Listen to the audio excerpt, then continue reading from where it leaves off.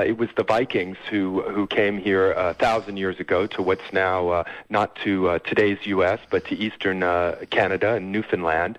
Um, and Eric the Red uh, was really a fugitive. He was a, a killer, a, a, a mass murderer, really, who kept getting exiled and exiling himself until he reached Greenland. And then his children uh, launched off from there uh, across the Atlantic and were the first Europeans to to explore and settle uh, what's now uh, North America. America. Um, they only hung around for about 15 years, but really it's it's astonishing that they got here at all, um, uh, because at that time uh, most Europeans didn't sail out of the sight of their own continent. Uh, yet the Vikings, uh, who were very intrepid, were sailing back and forth across the North Atlantic um, uh, to Newfoundland um, until driven away really by by the, the native people talking to us from Martha's Vineyard, and we point out it's Martha the daughter, not Martha the mother, is, is Tony Horwitz, and we're rediscovering the new world with him. Let's jump jump ahead a bit. People have to buy the book to get all the, the lurid details. Uh, Christopher Columbus, his uh, commands, you suggest, as much print as any man in history, but you found him elusive. Yeah, I, what was interesting to me about uh, doing this book was even the the figures who uh, you know were familiar to me, and I thought I knew something about, uh, like Columbus. It turned out that it really what we think we know is is 95% myth and misconception. Uh, I was taught that you know he was this uh, sort of bold uh, uh, navigator and, and modern you know uh, man, early modern man, sort of battling medieval darkness, and everyone else thought the world was flat, etc.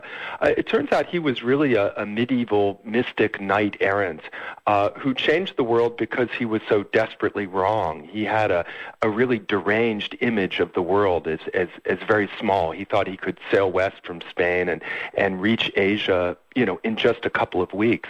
Um, and uh, not only was he way off with the distance, uh, he also, of course, didn't know that there was a, a huge continent blocking his path. And what's astonishing about Columbus is he goes on, he has four voyages to America, and he goes all over the place. And the more he sees, the, the less he learns. He becomes more convinced as time goes on that he's, um, you know, reached um, the Far East when in fact he's sort of trolling the, you know, the coast of Venezuela. Uh, Tony, so he, Tony, I know you've got a wonderful sense of humour, and I, I think the next thing I'm going to put to you sounds like a bit of a leg pull. I think you, I think you're having us on here, Tony.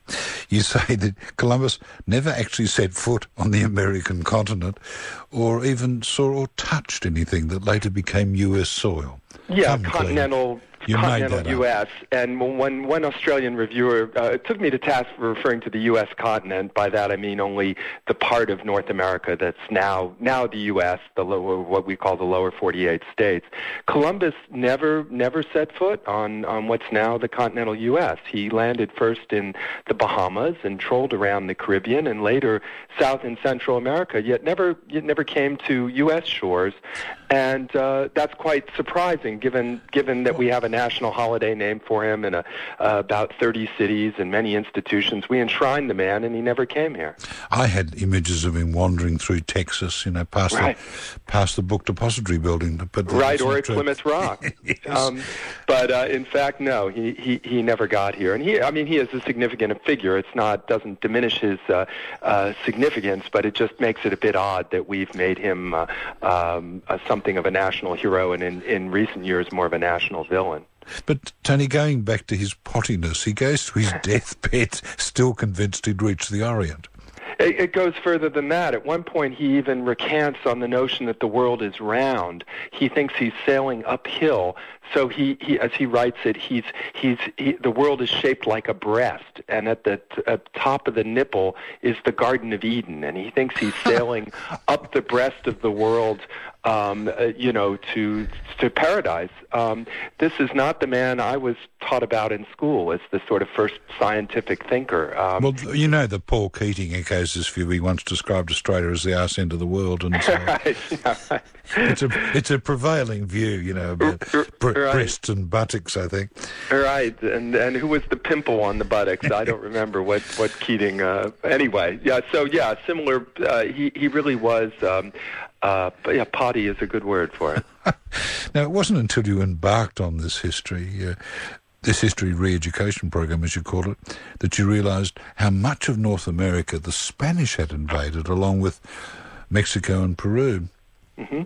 Yeah, I think most uh, Americans certainly associate the term conquistador with, with Cortez and the Aztec or, um, you know, the Inca in Peru and Pizarro conquering them. In fact, they also swept across um, what's now the U.S. Half of the states in the U.S. were uh, explored by the Spanish long before the first English arrived. And most astonishingly to me, not just uh, Florida and the Southwest and Texas, um, they even reached central Kansas um, in in the 1540s, which is, you know, again, uh, 80 years before the Pilgrims get here. You have conquistadors riding horses into the, the middle of the plains. Uh, I should add, much to the surprise of Plains Indians who have never seen horses before. Tony, uh, is there archaeological evidence for this, or is it documented? Is it... Both, both. Um, uh, clearly documented, and also uh, some archaeological finds. It's not. Uh, there's some debate about the precise town they reached in what's now Kansas, but no, no debate about them having gone there. Um, so, you know, they covered a, an astonishing amount of ground and are really, uh, uh, you know, the European pioneers of this continent, yet again, are uh, not completely forgotten, but certainly their role is, um, uh, you know, uh, relegated to a fairly minor one in, in most histories.